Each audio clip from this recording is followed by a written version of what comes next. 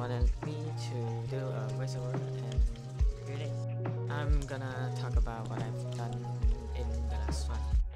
Um, school's back, but um, school is still good because uh, I can still talk to my friends.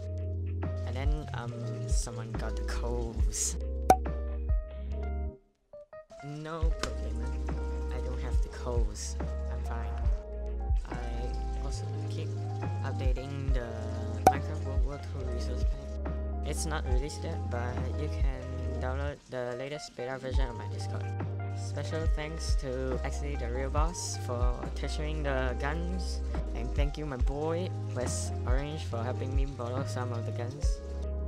And um, yeah, that's it. Um, I hope you enjoy the video, and I will see you later. Bye.